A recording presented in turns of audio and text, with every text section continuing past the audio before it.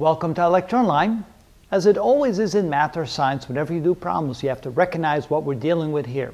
We're adding double digit numbers, but in this case, what you will notice is if you look at the last two digits, the last digit here and the last digit there, when you add those together, you get a number bigger than 10.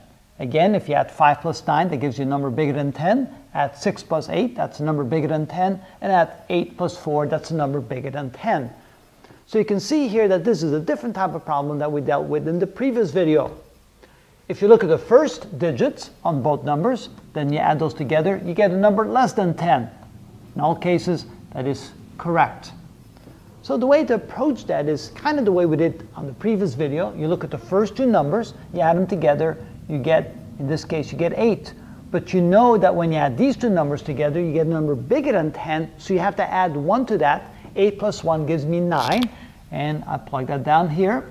And now 4 plus 7 is, how much more do you need to add to 7 to get 10? You need to add 3 more, so you subtract 3 from the 4 to make that 10. That leaves you with 1, that gives you 11. But the 10 was already given to the first number. You now have one number left, that's the one which you add over here.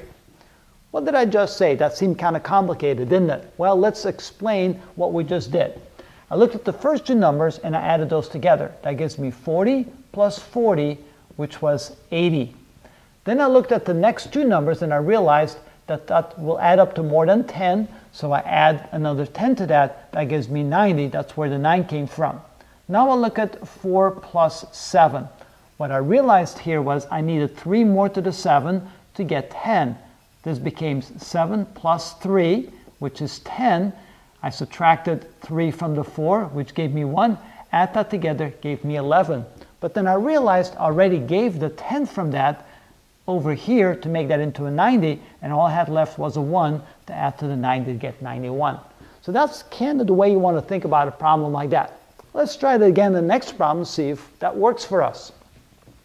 3 plus 2 is 5. So I would write 50 here.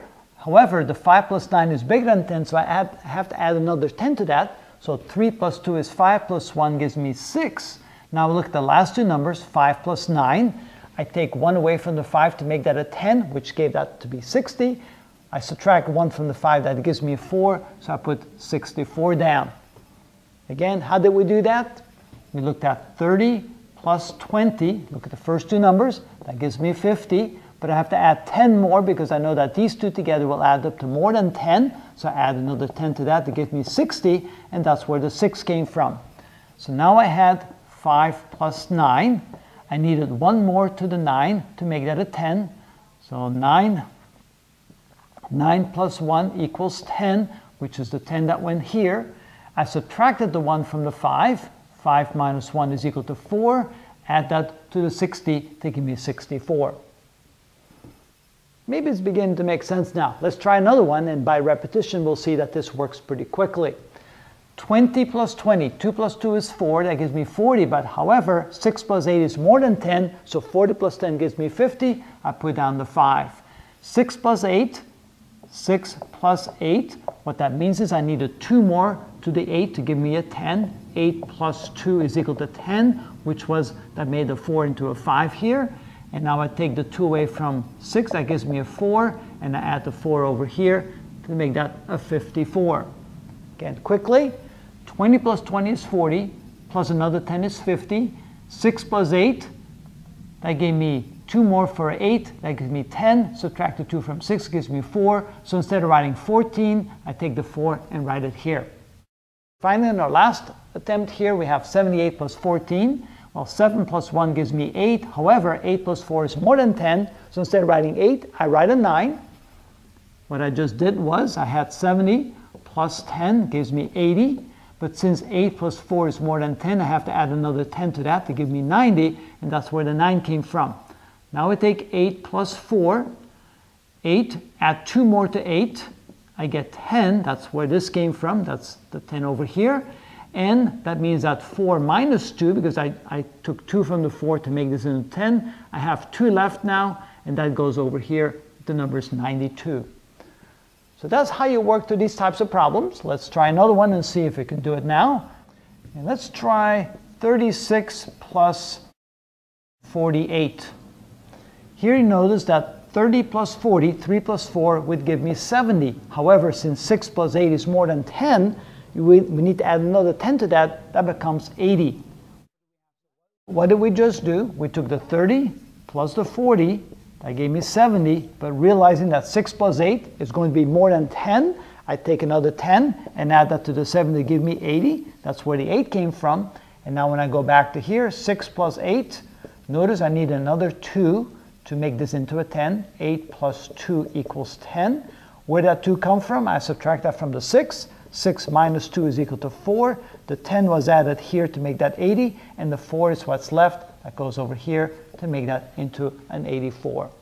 And that's how I tend to think about when I add numbers like that. I simply go to the first two and go 30 plus 40, that's 70.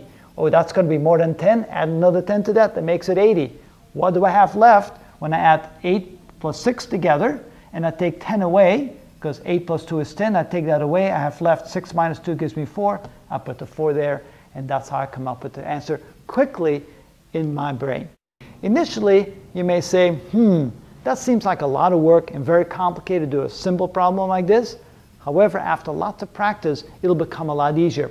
Typically what you would do is you come over here and you write 36 plus 48, and then you go 6 plus 8, what is that equal to? You go 6 plus 8 is 14, you write down the 4, you remember 1, 4 plus 3 is 7, plus 1 is 8, and you come up with 84, and then you write down 84. So that's how we traditionally do it. We have to take a piece of paper and write it by, by hand. However, you can do this very quickly in your head. You can say 30 plus 40 is 70, but those two together add up to more than 10. That makes 80. Write down the 8. 6 plus 8 is 14. You already used a 10. You're left with 4. You put a 4 there. And very quickly, over time, as you practice, you can do this quickly without having to write anything down. You just look at the number and you write down the answer. And once you can do that, you can do math like this a lot faster.